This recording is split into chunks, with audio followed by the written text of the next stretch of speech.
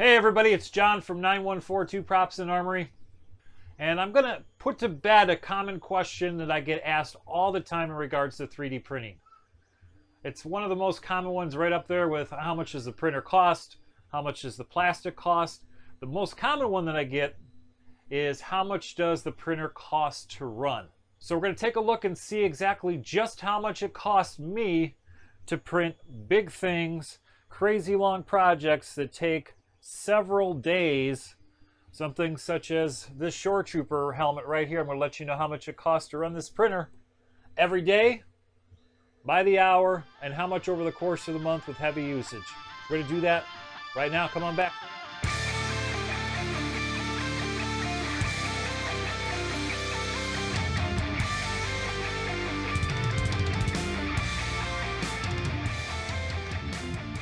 All right, two and a half years ago when I got my first printer, a Monoprice Maker Select, one of the first questions that my wife wanted to know was, how much electricity is that going to use? How much is our electric bill going to go up?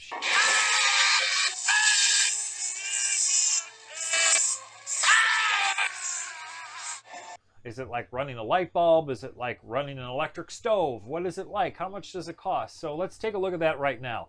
We're going to use a couple tools to do that. Uh, one of my favorite tools that I use all the time with my printing is uh, it's an electronic switch, a remote switch, a Wi-Fi enabled switch from Sonoff. It's a Sonoff POW. It's a 16, uh, 16 amp unit um, that allows me to do a couple things. It allows me to remotely shut off my printer should the need arise as I'm you know monitoring my print remotely and we'll take a look at that in another video but one of the coolest features of the Sonoff is the fact that there's an app that I can have on my phone that shows me a couple things. It shows me in real time exactly how much electricity I'm using as the printer's running. Right now it varies anywhere of the CR10 um, with the bed temperature of 60 degrees, nozzle at 205, and average printing speed of about 45 to 50 millimeters a second. We're averaging anywhere um, jumping between about 50 watts and 100 and uh, 150 watts most of the time. Sometimes up a little bit higher than that, but that's where it kind of averages out.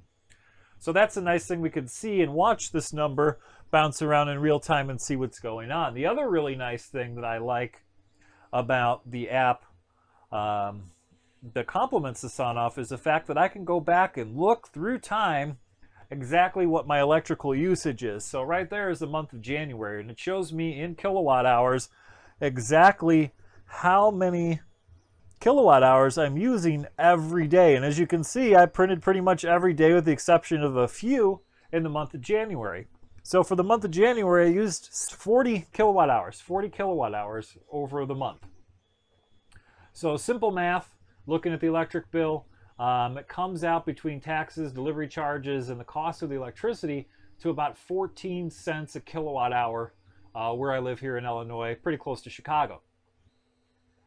So pretty simple math on that. If we're looking at an average when I'm running all day, um, these higher, uh, where I'm getting a two and a half to three kilowatt hours per day is probably where I was printing PETG for a different uh, project which of course uses a higher bed temperature and a higher nozzle temperature, so the usage is going to go up a little bit more. Uh, but with PLA, PLA in a day, that averages about 2 kilowatt hours a day. So 2 kilowatt hours a day, 14 cents a kilowatt hour, we're looking at 28 cents a day to run the printer. Really, the effect of running this printer is essentially the same as having a couple of incandescent 60 watt bulbs running constantly. So the cost is not huge. So when we look at another project, so I reprinted this Shore Trooper helmet.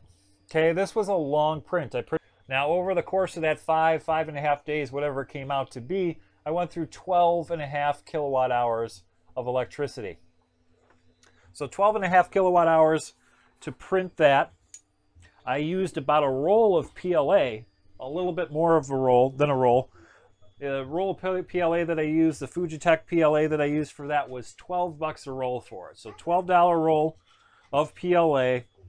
I used a minimal amount of electricity. So if we look at that, we look at 12.5 kilowatt hours times 14 cents a kilowatt hour.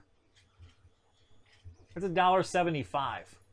I used a dollar seventy-five in electricity to print this entire helmet. A dollar seventy-five in electricity, a twelve dollar roll of PLA, and I have this fantastic Shore Trooper helmet that I'm going to finish, prep, paint. We're going to do a video on how to do that um, in the next week or so to show that process of how to complete something from a raw print like this to a finished, painted, weathered, and ready to go prop because I'm going to bring this with me to C2E2 because I'm going to be talking about 3D printing and how just amazing 3D printing is for people who like to costume and do replica props. How fantastic this technology is for that. So I'm going to be at C2E2 on Sunday, April the 8th, up on the live stage. Um, it is the Sci-Fi Wire live stage at uh, at 3 o'clock talking about 3D printing. So this is going to be one of the things that I bring with. So I'm going to finish the helmet as part of this series and then also bring that with me um, to speak in regards to 3D printing at the C2E2 convention in Chicago next month. So if you're thinking about getting a machine and the electrical cost is holding you back or it's a concern of yours, it is not a concern. All right, if you're worried about it, go around your house and unplug a couple electro electrical devices that you leave plugged in all the time, and you'll more than make up for it. It's pennies a day, literally. It's a little more than a quarter a day. I feel like I'm doing one of those commercials for just the cost of a cup of coffee, and not even the cost of a cup of coffee, 28 cents a day. I'm running the CR10 printer with the heated bed on all the time, 24 hours in a day, and it's costing 28 cents. 28 cents is what they charge you for an extra cup, an extra little container of the Szechuan sauce that's back at McDonald's right now. No, that's not an ad, but just a nice comparison. If you want to know more about the Sonoff device that I used in the video and that I use on a daily basis to keep track of my electrical usage and also allows me to shut my printer off remotely, there's information about that and links in the description. If you liked the video, if it was helpful, give a thumbs up. I'd appreciate it. Also, subscribe to the channel too. Got all kinds of things coming up. We're going to do the series on the, the Shore Trooper helmet. To go ahead and get that done. If you want information on where to get the files for that, I'll put that down in the description as well. More cool stuff coming. Lots of cool stuff up there in the past. Check them out. Give me a subscription. I would really appreciate it.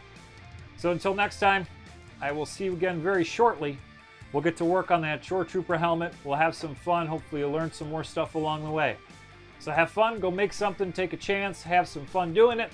It's John from 9142 Props and Armory. Thanks so much. Have an awesome day.